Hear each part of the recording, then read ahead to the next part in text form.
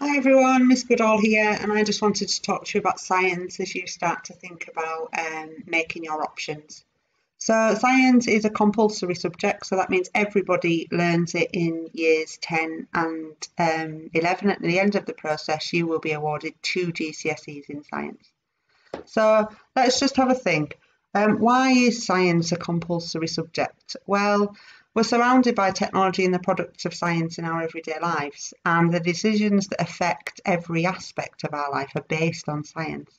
So think about things like medicine, engineering, your smartphone, the oxygen we breathe, and um, of course the natural world. So we hear lots in the news about the effect that we're having on the planet, um, global warming, and how this leads to climate change. And understanding all of this um, depends on science. Science teaches us how things work and why things work. It also teaches us a set of transferable skills. So we look at working scientifically skills through the practicals we do, the observations um, that we carry out, and the theory lessons that we um, teach you in science.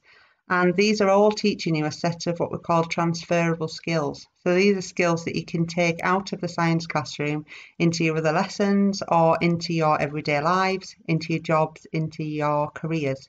So we're teaching you how to think, how to learn, how to solve problems, and how to make informed decisions. And all of these skills are really, really important now, but also as you uh, move forward.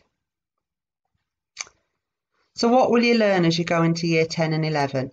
Well, we build on everything that you've already learnt in Key Stage 3. So we continue your journey in science by giving you the next pieces of information. So everything you've learnt in Key Stage 3 will be revisited and we will add information to it. And uh, if you decide to stay with us after GCSE, so um, you can um, complete your science education at GCSE and go off into the world with two good GCSEs, or you can choose to stay with us and we offer A levels in biology, in chemistry, in physics, and a BTEC in applied science.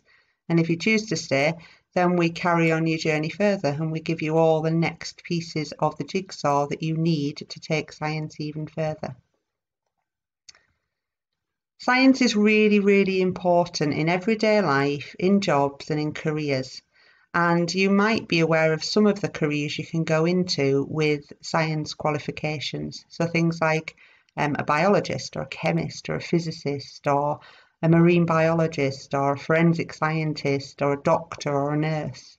But science is also really, really important in lots and lots of other jobs and careers. For example, if you wanted to be a primary school teacher, in order to um, be able to train as a primary school teacher, you need good um, qualifications in science. So you need to have GCSEs in science to be able to go on and study to become a primary school teacher.